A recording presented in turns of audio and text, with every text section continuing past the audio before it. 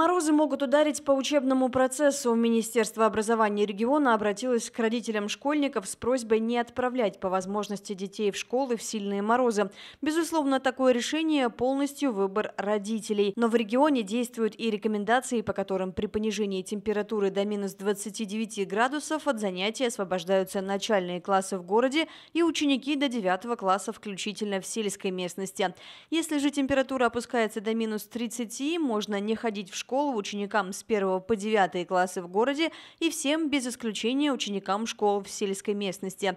Вот как прокомментировала детали процесса обучения во время морозов министр образования региона Ольга Петрова. Буквально вчера, в преддверии этих морозов, мы еще раз всем, всех, все, всю систему образования проинструктировали и сделали пресс-релиз на эту тему, чтобы родители тоже знали, при каких температурах можно оставить ребенка дома. Ну, и это не будет считаться неуважительной причиной. Но здесь, конечно, это решение родителя. Если даже написано, что ниже там, 30 градусов вы можете оставить ребенка дома, а родители решили, что нет, он должен пойти в школу, безусловно, в школе будет организовано все обучение, ребенка также примут с, с удовольствием, и все будет хорошо.